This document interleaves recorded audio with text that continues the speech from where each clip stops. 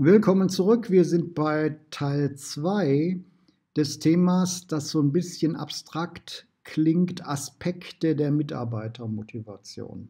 Gefragt ist hier nach Einflussgrößen. Was motiviert Mitarbeiter? Und hier kann man natürlich das immer auch verknüpfen mit seinem eigenen Erleben. Was motiviert mich selber?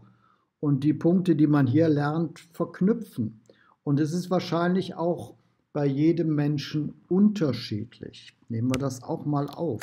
Zentraler Aspekt haben wir in Teil 1 auch schon gemacht. Schwerpunkte sind je nach Mitarbeiter unterschiedlich.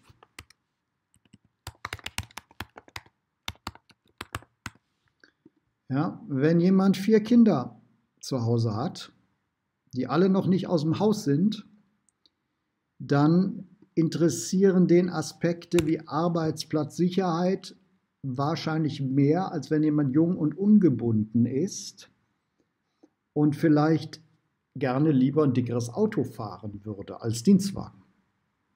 Ja? Machen wir weiter, nämlich die Arbeitssicherheit. Im ersten Teil hatten wir die Arbeitsplatzsicherheit. Jetzt ist tatsächlich gemeint die Arbeitssicherheit und Gesundheitsschutz am Arbeitsplatz und im Betrieb. Ja, generell, also auch in der Kantine, auf den Toiletten und so weiter, Sauberkeit, Hygiene, äh, Verletzungsgefahr, solche Dinge. Auch hier gilt, wenn schlecht, wahrscheinlich eher nicht motiviert. Wenn vorhanden, entsteht daraus in der Regel keine besondere Motivation. So, jetzt kommt ein Punkt, der, glaube ich, eine Menge bewegen kann, nämlich Personalentwicklung und Personalförderung.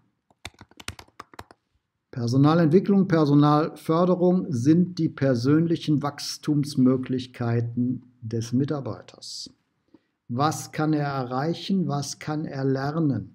Welche Fortbildung gibt es? Welche Aufstiegsmöglichkeiten gibt es? Was wird vielleicht durch das Unternehmen sogar finanziert? Ja, das sind, glaube ich, ganz wichtige Aspekte. Und der nächste Aspekt ist, glaube ich, auch sehr, sehr wichtig. Das ist oder sind Dinge wie Wertschätzung, Respekt, Vertrauen. Ja, man könnte vielleicht sogar sagen, generell das Klima im Unternehmen, aber das hier meint eher der Umgang auch mit den Vorgesetzten. Wertschätzende Vorgesetzte, Wertschätzung untereinander, respektvoller Umgang untereinander. Haben wir hier mal als eigenen Aspekt. Man könnte allerdings auch das packen unter, den, den, unter die generelle Überschrift Betriebsklima. So, dann Einbindung. Einbindung Einbeziehung.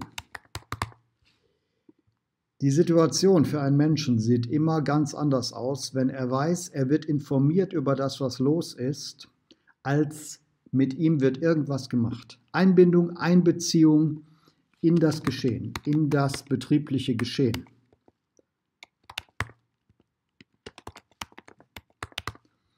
Wenn die Leute nur das Gefühl haben, dass irgendwie was im Busch ist, und die Gerüchteküche brodelt, dann haben Sie sicher keine motivierten Mitarbeiter.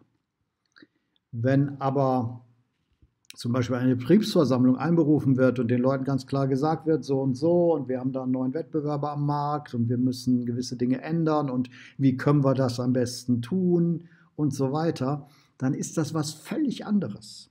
Ja, wenn Sie die Leute einbeziehen, wenn Sie die Leute einbinden, in das, was los ist, als wenn von oben einfach dann irgendwo irgendwie sozusagen ein Befehl kommt, der dann stur umgesetzt wird.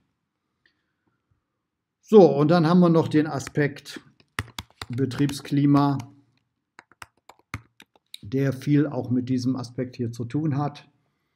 Ja, wie man hier das trennt, das müssen wir jetzt hier nicht diskutieren. Es sollen einfach zwei Auslöser sein hier, ähm, die man nennen und erläutern kann. Ja, vielleicht ist das hier eher gemeint im Umgang vorgesetzter Mitarbeiter und das hier generell, ne, also auch Kollegen untereinander und wie generell da die Stimmung ist, die Motivation generell. Gibt es dort eine Mission? Gibt es dort eine Vision im Unternehmen? All das spielt hier sicher auch eine Rolle. Okay, Sie sehen also, wenn der Prüfer uns diesen Aspekt hier gibt, Mitarbeitermotivation, kann man eine Menge dazu sagen. Ja, wer hier sitzt und nur den Prüfer anstarrt, dem ist fast nicht zu helfen. Zumal man diese Dinge hier auch immer, ich sagte es schon, mit dem eigenen Erleben verknüpfen kann. Also kann man sich die Dinge auch recht gut merken. Und man kann natürlich auch die Brücke schlagen zu den Motivationsmodellen. Ich habe das selber gemacht, Herzberg, das berühmte Zwei-Faktoren-Modell.